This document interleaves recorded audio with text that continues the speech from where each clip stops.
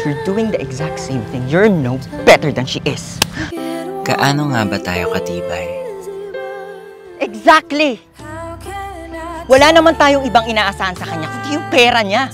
Yung pera niya lang. Dahil nanay pa rin natin yun! Nanay? Kapag nagkaanak ako, gusto ko yung katulad mo.